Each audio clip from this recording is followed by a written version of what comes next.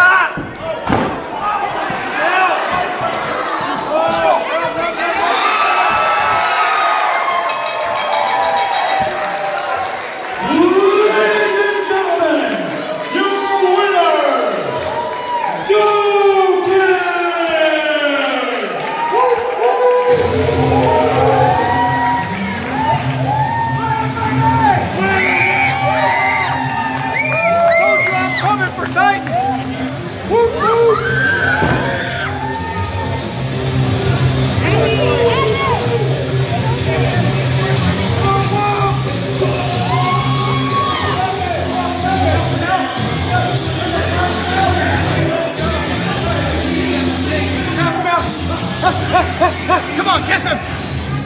Because...